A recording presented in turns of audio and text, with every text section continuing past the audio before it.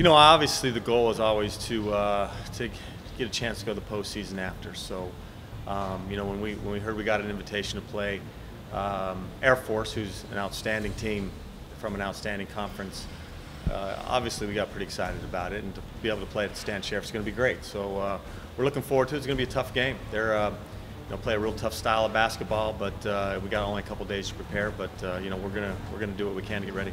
Uh, I think I think it's a great you know great opportunity. You know, it's gonna be a great opportunity for us to go out there and, and play.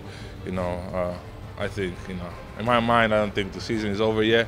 So I think we we all still on the same page and we all can you know still in great shape, ready to go. You know, we just had a couple of days off. It was good for us, you know, to refocus. You know, now we're gonna be ready, you know, for you know for this game on Wednesday. I'm excited for it. You know, I thought we were a good enough team to get in, and looking at uh, you know all the other teams that were, were invited, we're, we're right there with them. Uh, I, I, definitely felt we were deserving of uh, of, of postseason this year, and uh, I, I, didn't know if it was going to happen or not. You just you just kind of kind of wait and see. But when we got the call, uh, I, did, I did feel we were we were quite deserving of it. If you could give, what is it like to play one of those service academies and the way they just come at you relentless? You know, it, it's tough. I mean, you got a different uh, breed of man at that at that school, and uh, you know they're there, they're disciplined, and they're they're, they're bright, and uh, you know they play the Princeton style offense, which is the backdoor offense.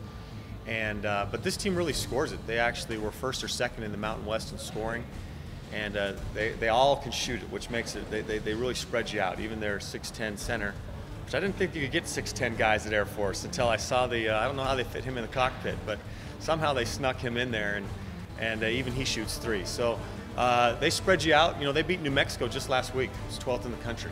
So um, it's a very very good team. You know, I thought I was never gonna play. You know, uh, in Stan Sheriff again. So you know, I'm just happy. You know that I had one one more last game out there. You know, it's gonna be fun. You know, hope you know hope to see everyone out there. You know, students have been great all year, and um, and just getting better, and that's something that we took. Uh, uh, you know, great pride in and, and, something we worked hard at. So uh, we want to continue to build that. The students, uh, we, would love to have them come and pack the student section. And, you know, it's a Wednesday night, so they probably got to get to school the next morning, but we figured to give them a little break from, from studies for a couple hours.